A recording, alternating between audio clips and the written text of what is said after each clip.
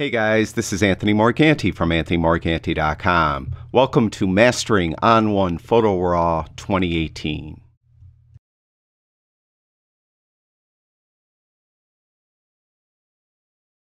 In this video, we're going to take a close look at the bleach bypass filter that's found in the effects module of ON1 Photo Raw 2018. This is an image I'd like to add that filter to, so I'm going to click on Add Filter and go down to Bleach Bypass. And you can see as soon as I added the filter, it did something to the image. There's before and there's after. Well, what exactly does Bleach Bypass do? Well, you actually could do a lot with this filter and get a very wide range of looks. But generally speaking, the Bleach Bypass filter will kind of bleach out some of the color and add a lot of contrast to the image. It is a filter that, in my opinion, that is best used on images of musicians, artists, uh, certain types of fashion photography, specifically street fashion. I think this filter shines, and I think you'll often see this look on a lot of street fashion images. Now, as we look at the filter, like most ON1 filters, across the top are the styles. And right when I turned on the filter or applied the filter, the style that was applied was normal. To the right of that, we have lighter, then we have darker, then we have strong. And below that, or to the right of that, I'm sorry, there's a drop down, and there's a few more styles in this drop down. We have high key cool, high key warm, and Omaha Beach.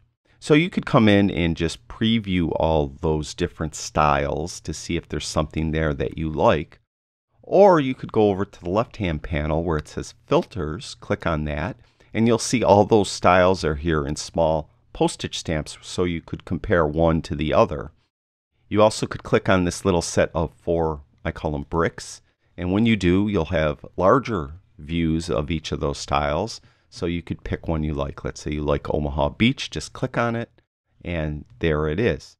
Now, really, the best part of this filter probably isn't the styles, it's that you could really dial in a style all your own. To do that, I'm going to start out with normal. So all the sliders are at the middle center position. And you could see that there's a mount. This is just how strong do you want the filter to be.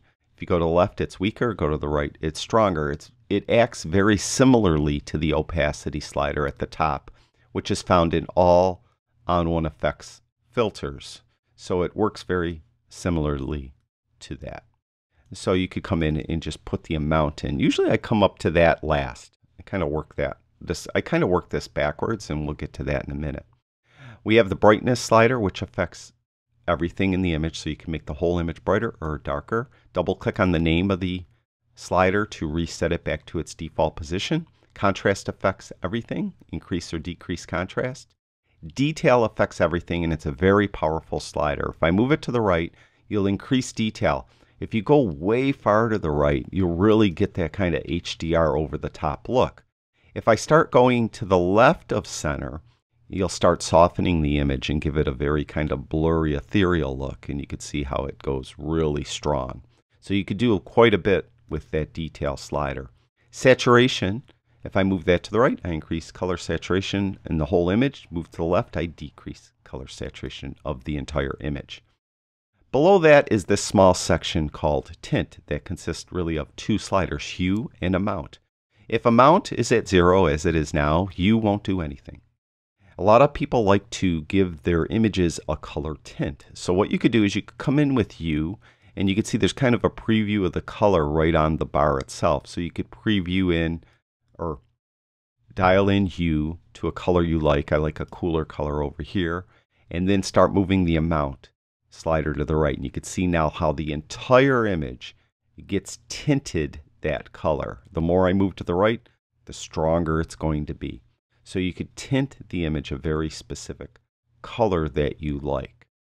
Now, I mentioned that I kind of work this um, filter backwards. I usually determine early on that I want whether or not I want the image to have a color tint. So I will do that first. So I would come in here and dial in a bit of a tint. Then I kind of jump around on here. Usually I'll go to detail next because I think that's a pretty important slider. And I'll move that to the right a little bit. Usually, sometimes I'm not one that likes soft, ethereal kind of images like that. Kind of like it a little more detailed to the right. But then I start messing around with brightness and contrast. So in this image here, I think I want it very contrasty and I kind of want their faces to kind of pop out at us. So I want, you know, high contrast between their skin tones and everything else around their faces. So I want, want it like that. Then I'll come up here with the mount, move that a little more to the right. Um, saturation, I think I'll take down a little bit, suck out a little bit of color. Now I'm going looking at it and I think detail might be a little too high, so I'll pull that down quite a bit, just about to zero. So it's kind of the crazy look I want in this image. Of course, when you're processing an image of musicians, your processing is going to be kind of paralleled to the type of music they play. These guys are pop punk artists, so I want this kind of dark, grungy look to their uh, image, their photo.